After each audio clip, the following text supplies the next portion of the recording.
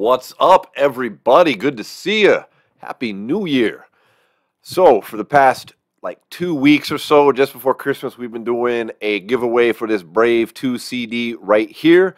All you had to do was leave a comment mentioning your favorite Tom MacDonald song or the Brave 2 album on any of the three Tom MacDonald reactions that I did. And we have got a random winner picked. It is Leslie Bates 22. Uh, your screen name should be popping up. I'm going to respond to your comment as well.